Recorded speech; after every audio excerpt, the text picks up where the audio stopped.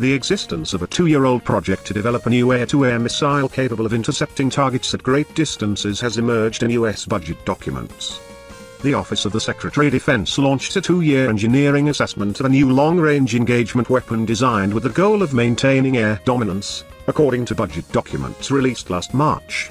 Analyses of the design, engineering and kill chain requirements were expected to be complete in the last fiscal year, although details are classified. When successful, LREW will transition to multiple services, the documents show. Though funded for more than two years, the LREW project had escaped notice in an obscure budget line item for an OSD account named Emerging Capabilities Technology Development, which is mostly reserved for small electronic warfare projects but the program offers the first indication that the US military is interested in a new missile to replace or surpass the capabilities of the Raytheon AIM-120D AMRAAM.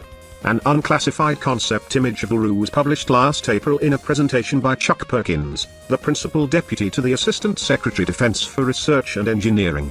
The image in Perkins' presentation may not reflect the classified version of the LREW concept but depicts a large, two-stage missile launched from an internal weapons bay of a Lockheed Martin F-22.